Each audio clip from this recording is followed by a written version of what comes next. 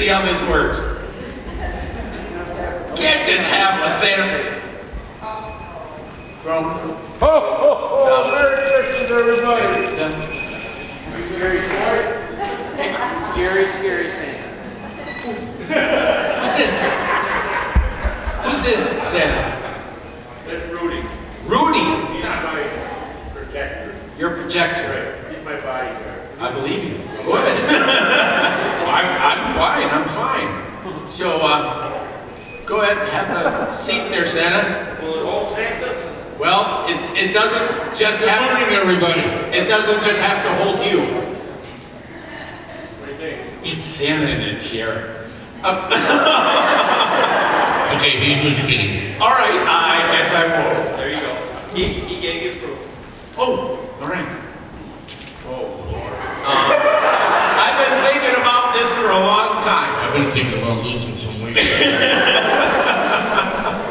So, Santa, before I get to my list, uh, it's 11 pages long. Um, you are a busy man. I am. Yes. And you have a lot of things to do to get ready for Christmas. Oh, you never know. Yeah. Like, um, like all of those lists, those naughty and nice lists. Uh, How do you- forever. How do you get those together? Well, it's magical. It's magical. It's a magic. secret. It's a secret. But if I told everybody the secret, I'd have to kill you all in your sleep. So. Oh. oh, that doesn't sound like the Santa we know. But are more people on the naughty side or are more people on the nice side this year? Actually, this year is a record-breaking nice side. Oh, but I'm oh, glad good you asked. good I'm glad you asked. I have something for you. You, you have something for me? I do. Okay. We planned none of this. Okay. It's a magical bag. You gotta dig. A magical bag you have to dig. So were you Okay. good last? It must have fell. I'm- It must have fell I'm out. right here. I hope it didn't break. No, it won't break. Oh.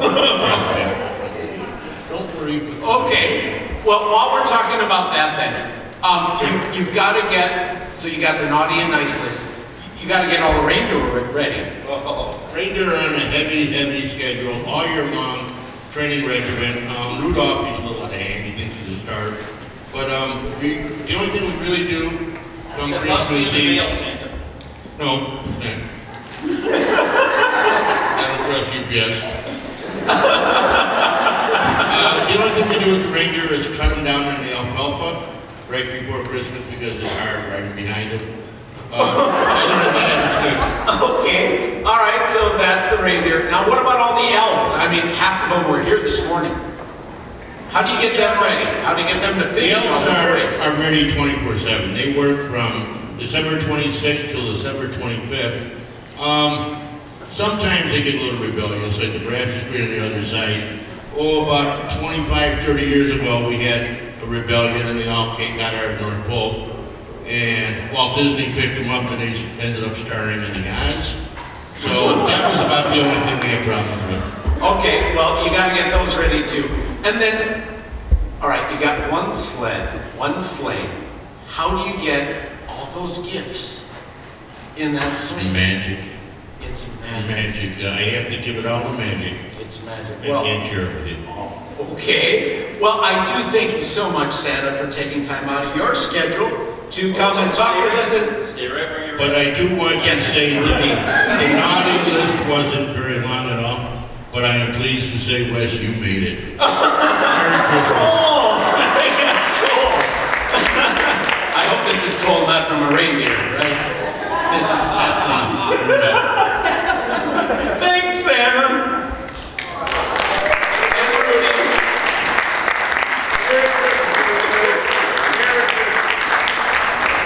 Catch. Just kidding. Goal from Santa.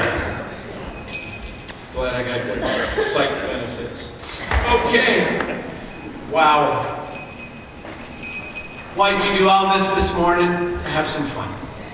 We start a Christmas series, a short Christmas series this week, and uh, it goes until Christmas. And these are the titles. Our first title this morning is Prepare the Way. Then next Sunday is Love Came Down, followed by Love Gives All, and our Christmas Eve service which will be from 6 to 7 o'clock on Christmas Eve. All focusing on different aspects of the Christmas story and how we enter into that. So, with that in mind, let's do our opening prayer together. Dear God, thank you. Thank you for Christmas. When you sent your Son to become one like us, so that we would not see you as far away and untouchable, but as one like us. May all our hearts prepare room for your Son this Christmas season.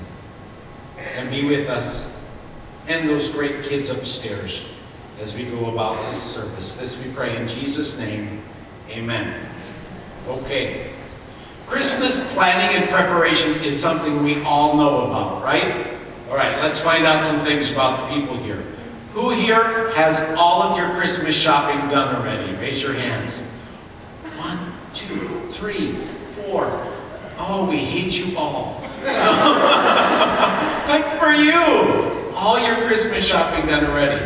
Okay. Who shops last minute? Really last minute? Okay, really? All right. Who loves to get ready for Christmas? Who loves that whole process of decorating and preparing all of that? Okay. And how many people feel more like this on the slides?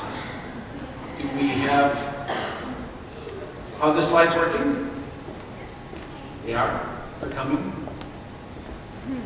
It's somebody who's green. There, who feels more like this when it comes to Christmas?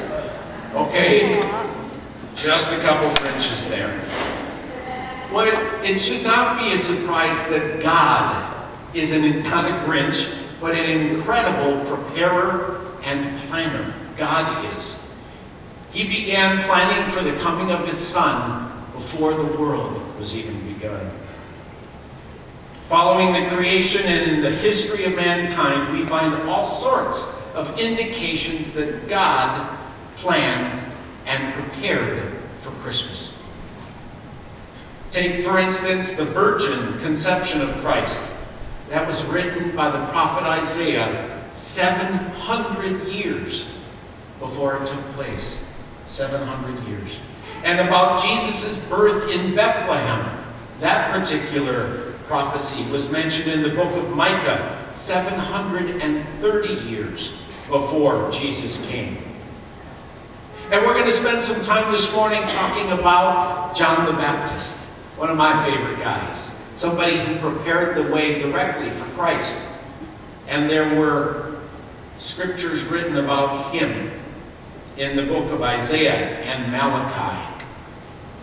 And then there was 300 years of silence until Christmas. The prophets were silent. God had all of his preparations ready and in place. So, let's take a look at John the Baptist then. Most of the, this part of the message is taken from the start of the Gospel of Mark, starting with chapter 1, verse 1. And uh, we'll go through the first eight verses. I'll just read them all, then we'll break them down.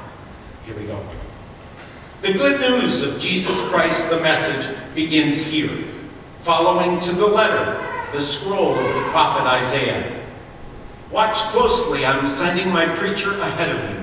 He'll make the road smooth for you. Thunder in the desert, prepare for God's arrival. Make the road smooth and straight. John the Baptizer appeared in the wild, preaching a baptism of life change that leads to forgiveness of sins. People thronged to him from Judea and Jerusalem, and as they confessed their sins, they were baptized by him in the Jordan River into a changed life. John wore camel hair, a habit that was tied at his waist with a leather belt. He ate locusts and wild honey. As he preached, he said, the real action comes next. The star in this drama to whom I'm a mere stagehand, will change your life. I'm baptizing you here in the river, turning your old life for a kingdom life. His baptism, a holy baptism of the Holy Spirit, will change you from the inside out. That's from the message version of the start of the Gospel of Mark. As we consider the topic of prepare the way, two main points. How John got prepared and how we prepare for Christmas. Who was John the Baptist? John the Baptist was a miracle baby. His parents were incredibly old, hundreds of years old. And they longed for a son. And God made it possible. So much that his mom laughed when, when she was told she was pregnant. And John, God took his voice away. John's father was unable to speak until John was dedicated to God. And this was an incredible miracle baby, John the Baptist. He was set aside for God's work from the time that he was born. His mission summed up in one word, prepare. That was his mission, prepare. John's reason for preparation, watch closely. I'm sending my preacher ahead of you. He'll make the road smooth for you. Thunder in the desert, prepare for God's arrival. Make the roads, road smooth and straight. Think for a minute. John's conception, birth, and life were all about one thing Jesus. He'd be the one prophesied about in both Isaiah and Malachi that says, Look, I'm sending my messenger on ahead to clear the way for me. Suddenly, out of the blue, the leader you've been looking for will enter his temple. Yes, the messenger of the covenant, the one you've been waiting for. Look, he's on his way. When he says the kingdom of God is at hand, it's that close. At hand, meaning here. God saw fit to make preparations for the Messiah through John the Baptist. He was to get people thinking about the Messiah so they wouldn't be taken by surprise, because John was sent to prepare the way. How did he prepare people? In the way that God told him. He appeared in the wild, preaching a baptism of life change that leads to the forgiveness of sins. People thronged to him from Judea and Jerusalem as they confessed their sins, were baptized by him in the Jordan River into a changed life. Picture this desert. It's 20 miles away from Judea, from Jerusalem. 20 miles. Hot, dusty, desolate. The average person walks two to three miles an hour. We're talking a 10 hour walk to go see this guy in the desert, dressed simply, but with a powerful message. And on the way home, if every step was uphill for them to get back from whence they came. Not a particularly popular way. You'd think if you're trying to reach a lot of people, you'd go to the busiest place, not one of the most remote. But that's what God called them to do. And Jesus was around, but not yet visible yet. Jesus was living in the Galilee hills. John the baptizer was preaching in the desert. And his message was simple. Change your life. God's kingdom is here. His message was this. The repentance of sin. Repentance, that's a word we don't hear a lot or use a lot. Repentance is not a feeling word like feeling sorry for your sins. No, repentance means to change direction, to turn around. That's what repent means. Also to confess sins. Why? Why? Because when we do that, it breaks part of the power it has over us. And we need to verbalize that we are sorry and need to turn. Confession is good for the soul. And also, John affirmed the coming of the Christ. And then baptism. Why? Because it cleanses, it symbolizes new life. We're going to have a baptism service this winter. We're going to take out these giant saws and, on Geneva Lake. We're going to cut a nice little area there. Everybody's going to come in close. And then anybody who wants to be baptized, we'll send you down in the name of the Father and the Son. And our church will dwindle to no one. Though we are doing a baptism ceremony, but it'll be right in here where it's nice and warm. And we will heat the water. Baptism is a powerful sign. It's a powerful sign from God. And we'll be doing that. John the Baptist wasn't much to look at. He wore camel hair tied at his waist. If you thought we looked goofy with those Santa outfits and elf outfits on, anybody ever been on a camel? Nobody's been on a camel? You have? You've been on a nice and smooth, soft, silky, rough and coarse is what I saw online when I looked. Yeah. I thought wool was itchy. Imagine wearing camel. Yeah. And then there's what he ate. All right, the wild locust and honey. How many people like honey? Yeah, that's good. How many people like locusts? I don't know if I would even do that on a double dog dare. All right? I don't know if I would. I think those, those little legs that kind of get stuck in your teeth. Ugh. I love them. You love them? Now the, now the grasshoppers I was talking about were the real ones, not the after dinner drinks, right? Right? Just making sure. All right. John made some promises. John said that he was baptizing here in the river, turning their old life for a kingdom life. The real action comes next. The main character of this drama, we know who that is, Compared to him, I'm a mere stagehand. Will ignite the kingdom life for you. A fire within you. The Holy Spirit within you.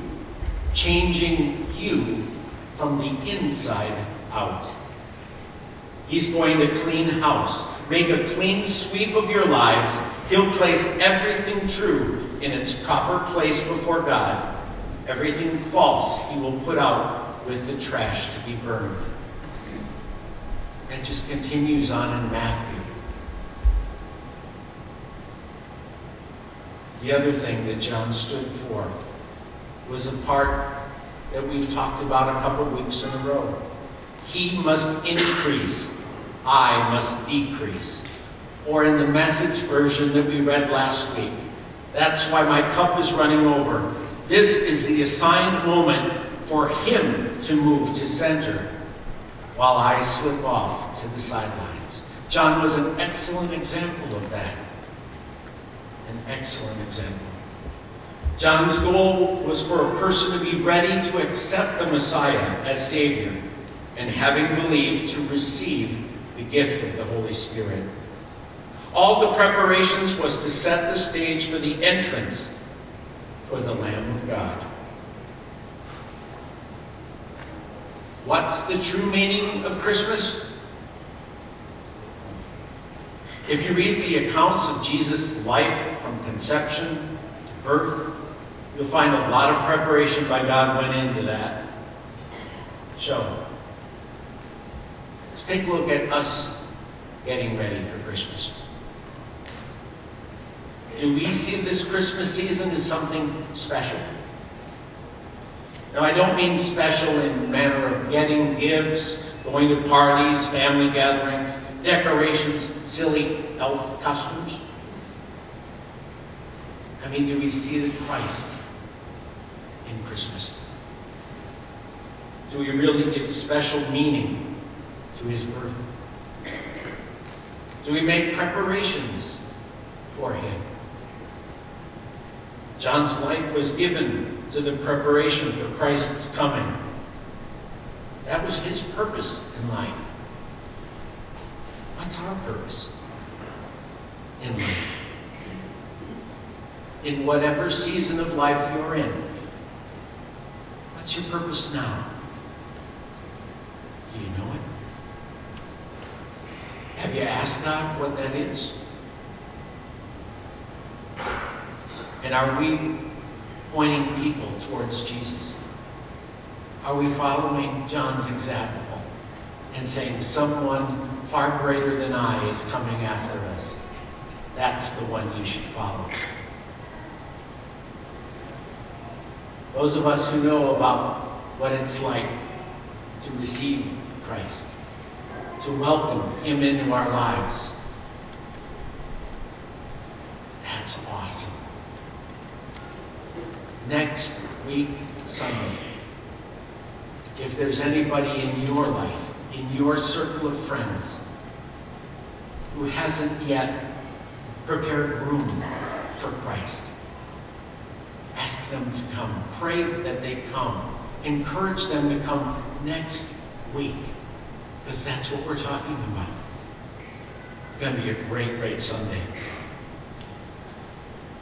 Let's use this season to prepare our hearts for the Lord, for what He might want to do in our lives. John sacrificed a lot, everything really, in his life. What have we sacrificed for the Savior this season? And are we more concerned about others than ourselves? These are hard questions, but appropriate in this time of preparation for Christmas. It's good to ask those questions, and it's good to ask God those questions and to patiently and expectantly wait for his answer. What's the goal of this Christmas season? Is that it? It's not about stuff to get.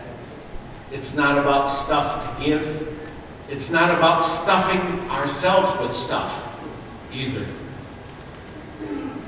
Let's be interested. No, not just interested. Let's be invested in the Christmas story this year. Let's listen to what Christmas is all about.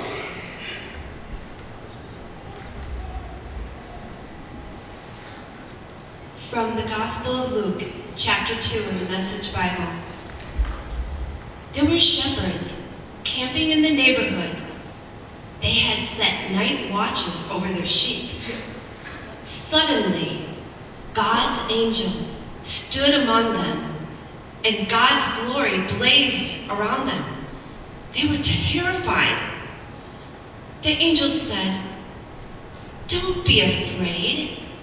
I am here to announce a great and joyful event that is meant for everybody, worldwide. A Savior has just been born in David's town. A Savior who is Messiah and Master. What you're to look for. A baby wrapped in a blanket and lying in a manger. At once, the angel was joined by a huge angelic choir singing God's praises. Glory to God in the heavenly heights, peace to all men and women on earth who please him. As the angel choir withdrew into heaven, the shepherds talked it over. Let's go to Bethlehem as fast as we can and see for ourselves what God has revealed to us. They left running and found Mary and Joseph and the baby lying in the manger. Seeing was believing. They told everyone they met what the angels had said about this child. Luke 2 8 through 17. The true story of Christmas is filled with joy, with peace, with hope. And that hope is Jesus. Amen? Have we prepared room for Jesus in our hearts? We need to prepare room here at the river this Christmas.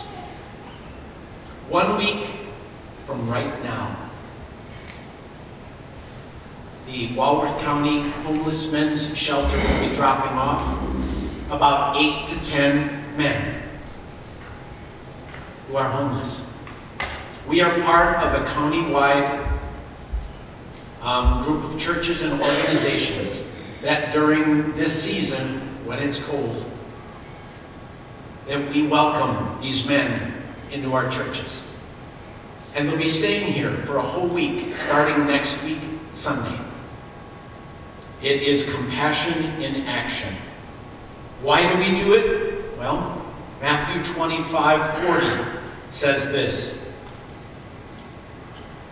Then those sheep are going to say, and by the way, we're sheep in this part, Master, what are you talking about? When did we ever see you hungry and feed you, thirsty and give you a drink? When did we ever see you sick or in prison and come to you? Then the king will say, I'm telling the solemn truth. Whenever you did one of these things to someone overlooked or ignored, that was me. You did it to me.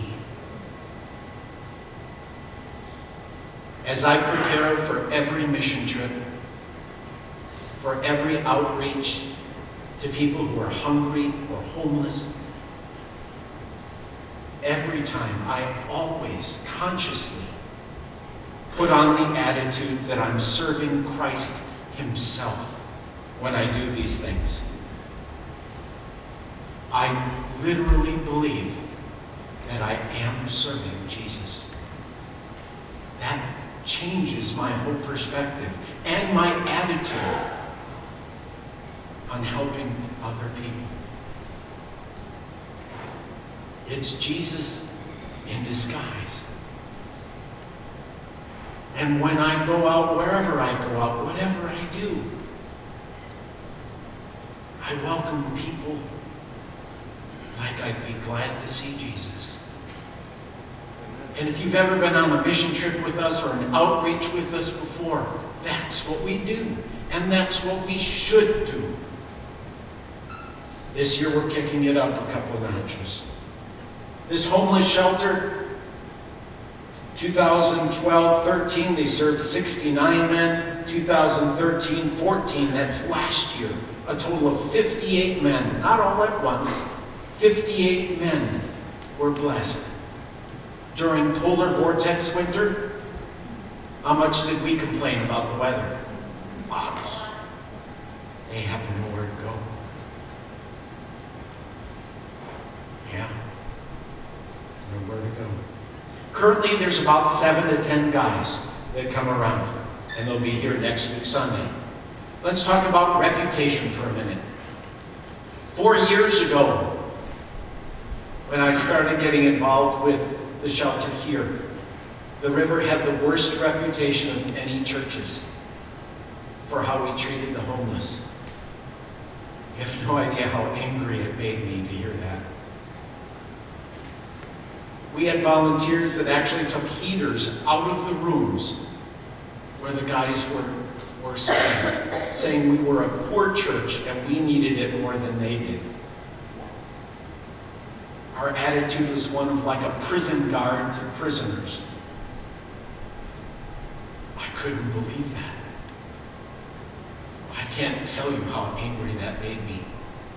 One of the worst reputations in the county for how we treated men who were down and out. Last year, and I asked them every time, I asked the guys, I asked the on-site coordinators, how are we doing? How are we doing? Lonnie, who was the on-site coordinator last year, he said, you guys are the model now. You're the model that we want other churches to embrace.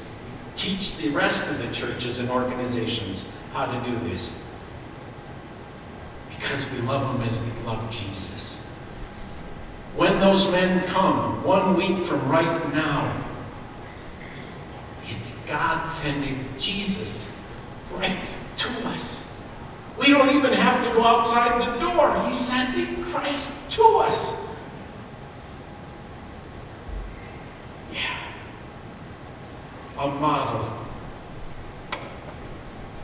What does the world look like through the eyes of those special men who are coming through? This is one of their responses. I'm worried, I'm afraid, I'm rejected, homeless, hungry, forsaken, thirsty, sad, alone, empty, lonely, scorned, broken, wanting somebody to love me. But I still love Jesus. The men who come in, many of them have super strong faith. Super strong faith because God is all they have. I used to think that I was coming to bring Jesus to them, the poor, unfortunate, lowly ones. But my life has been blessed so much by these guys. They got plenty of time to think it over, to be in the Word, to sort out things. They don't need sympathy. They need to be treated as God calls us to do it, with love. With love. If you have a cell phone, a smartphone, please get it out and log into Facebook. I'm serious. Log into Facebook.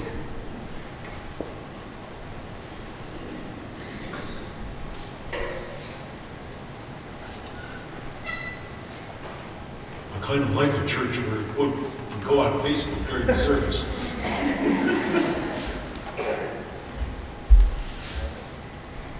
It takes over 80 people working for every week that we host the homeless. We have one week starting next week Sunday, and then we have a week in February, the 8th to the 14th, and March 8th to the 14th. This year we have three weeks. It used to be more churches were involved and other churches dropped out. We got to house them. We get to house them. This is the facebook.com slash the River Delavan. Of those 80-something positions that we have, over half of those are already filled. Over half of those for everything from bringing food to um, staying overnight. We have two music nights. The guys love it when we do this. We just get together music, we get together things, and we have a jam session twice a week. We play and then we hold out the guitars and say, who here knows how to do this? And it's a, last year we had an amazing, Marco, an amazing guitarist. Who would have known that it was disguised as a crazy man? There is a long list on this website of everything that we still need so that we can represent Christ well and we can welcome these men well. We need six people after the service next week Sunday to set everything up upstairs. Gotta have it. The guys are being dropped off about 11.30 and we gotta quick get that all set up. Other things we need a lot at the end of the week, which is Sunday morning. That would be the 21st. We got to quick get everything cleaned up, broken down so kids' church can be up there. Great needs. How do you know what's available? Because it's signed up online, and if it doesn't have a volunteer button on it, it means somebody already took it. If you don't have a great phone, if you got a stupid phone instead of a smartphone, all right, we'll pray for you. Um, Texas, don't need read no Texas. You got that, Santa? We have two iPads in, um, in the entryway at the info spot. Two, uh, two iPads. They'll help you sign up. Find somebody who does have a smartphone and sign up that way. The neat thing about this is it even sends you a reminder. Sends you a reminder a day or two ahead of time. Us working together for these guys, these great guys. Let's pray for our week starting next week. Dear Jesus, you know what it's like to be homeless because you were homeless. You had no home while you were in active ministry. Yet you loved every leper, every person of bad reputation, every orphan. Give us that love. Give us that heart that can see you in every set of eyes. May we welcome these men, and indeed all who you send our way. This we pray in Jesus' name. Amen. In preparing for today, I found a great quote that I kind of like to start closing this message with. It's by Paul Tripp. What I did is I just took out the church words and I put in river words. But the message is there, there. It's great. And this is what Paul says with the translation. This church is not a theological classroom. It is a transformational, fess up, turn your life around, make things right, let the past go and get the darkness out kind of place.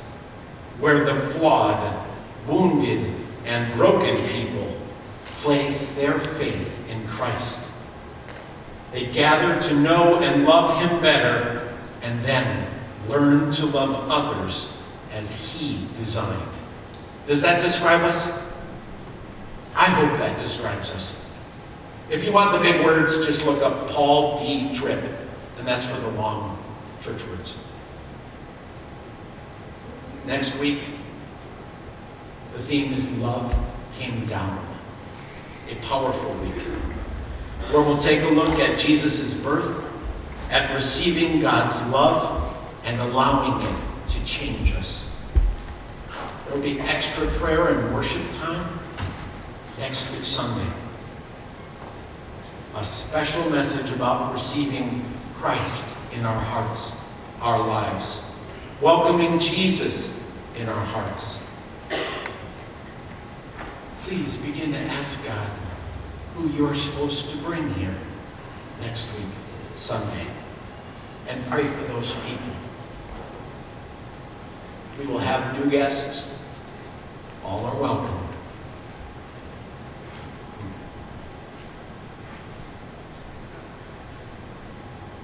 Let's pray. God of the universe, you love us. Thank you. Despite our failings, our flaws, our selfishness, you love us. And you ask every one of us to prepare a place for you. Not a place far away and some unimportant part of ourselves, but in the deepest part of our minds and our hearts. May we all prepare room for you. That means willfully setting aside our will, our ways, for your will and for your ways. This is a joyful season. You are God. You are Emmanuel, God with us.